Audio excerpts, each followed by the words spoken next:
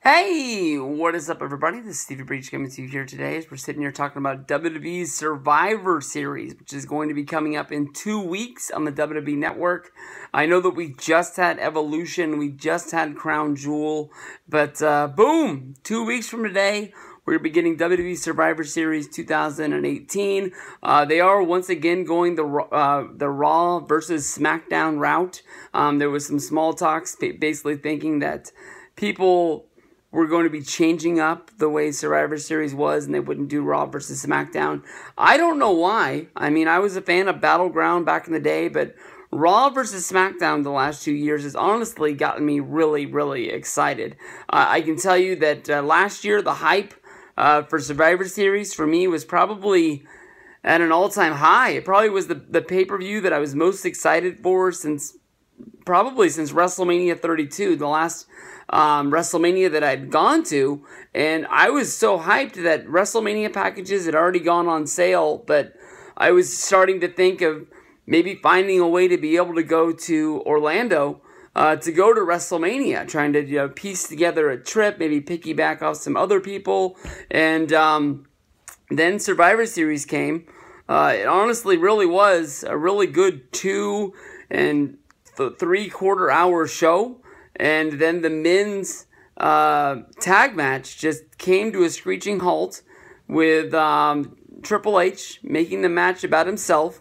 I've always been a Triple H fan. I, I still am a Triple H fan today, but him making that match about himself more than about anything else, I, I didn't understand it. Taking time to stop the match, to eliminate Kurt Angle. I know that it set up the Kurt Angle uh, tag match at WrestleMania with um, uh, Rousey and Angle going up against Stephanie and, and Triple H. But um, at that time, that was just a ground screeching halt for me, especially that Rousey wasn't even in WWE at the time, you couldn't really 100% tell what they were doing. It just put a sickening feeling in my stomach, and all of my WrestleMania plans were crumpled up and thrown in the trash. This year, um, the second that they announced um, Survivor Series, the first match that they announced uh, was Ronda Rousey going up against Becky Lynch for the Women's Championship. Um, that's going to be a really good match.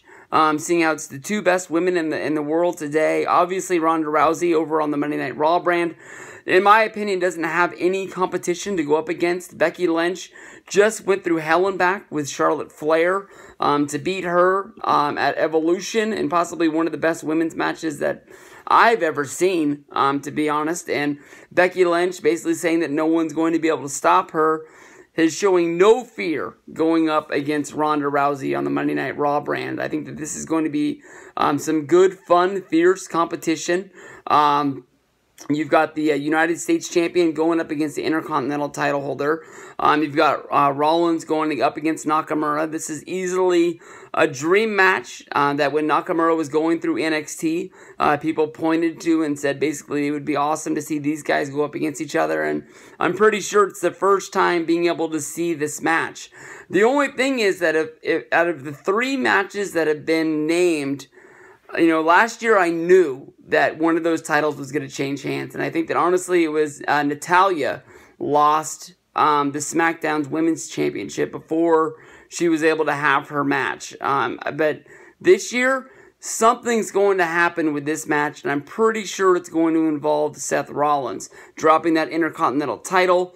Um, you know, definitely him versus Ambrose is going to be the biggest storyline that is running on Monday Night Raw. And I wouldn't be surprised if uh, Ambrose causes Rollins to lose the Intercontinental title. Um, so he loses this match. He's not able to be a part of it.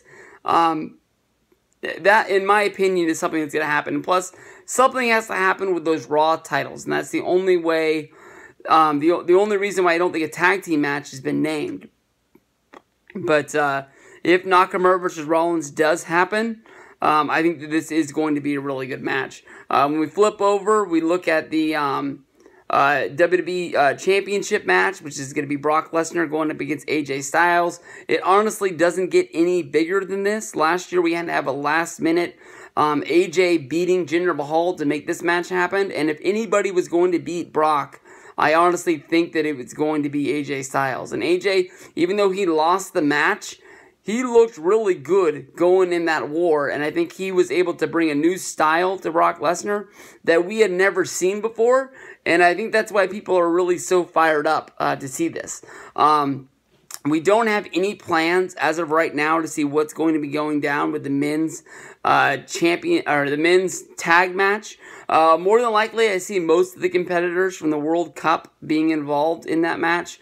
Uh, SmackDown possibly being led um, by um, Shane McMahon. Monday Night Raw probably being uh, ran uh, by Kurt Angle. Um, probably you've got uh, Kurt Angle, Dolph Ziggler, Drew McIntyre uh, Braun Strowman, and uh, the easiest guy to pick would be Dean Ambrose. But I'm telling you that Dean Ambrose is going to be doing something with Seth Rollins. Um, so I don't know who you're going to be able to pick as that fifth guy um, on the team off the top of my head to be the Raw brand. But you flip over, you look at SmackDown. It could be you know Shane McMahon. It could be uh, Samoa Joe.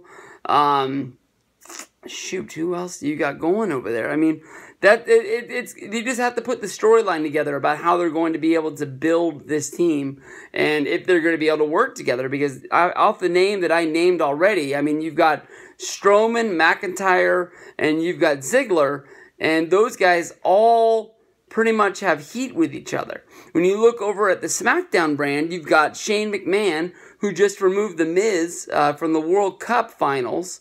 Um, the Miz was injured, but he doesn't seem that happy about being taken out of it.